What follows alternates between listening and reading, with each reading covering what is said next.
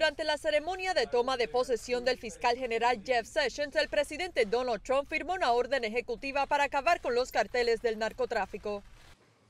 Tomen todas las acciones necesarias y legales para romper la estructura de los carteles criminales que se han extendido por todo el país y que están destruyendo la sangre de nuestros jóvenes, dijo Trump desde su despacho Val.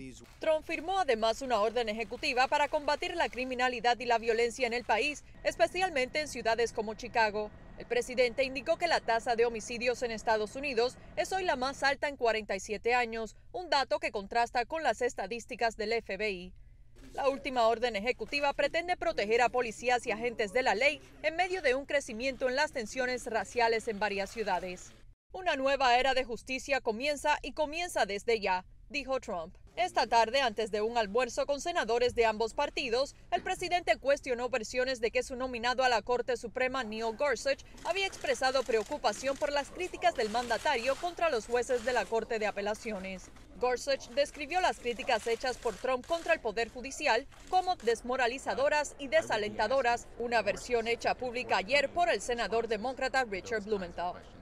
Trump dijo que los comentarios habían sido mal interpretados y escribió en Twitter. El senador Richard Blumenthal, que nunca luchó en Vietnam cuando dijo durante años que sí, gran mentira, ahora malinterpreta lo que el juez Gorsuch le dijo el presidente había expresado su frustración calificando a los jueces de estar politizados tras una decisión judicial de suspender temporalmente la semana pasada la prohibición gubernamental para ciudadanos de siete países de mayoría musulmana de ingresar a Estados Unidos. También a través de Twitter, Trump atacó hoy al senador republicano John McCain por sus críticas a la reciente operación de las fuerzas especiales contra Al Qaeda en Yemen, que dejó un saldo rojo de víctimas civiles y militares. El senador McCain no debería hablar sobre el éxito o fallo de la misión a los medios. Eso solo sirve para alentar al enemigo. Ha estado perdiendo tanto tiempo que ya no sabe cómo ganar. El presidente aseguró que ya el secretario de Defensa James Mattis había calificado como un éxito la misión de las Fuerzas Especiales estadounidenses. McCain, por su parte, señaló que aunque muchos de los objetivos de la operación de Yemen se cumplieron, no llamaría como un éxito a una operación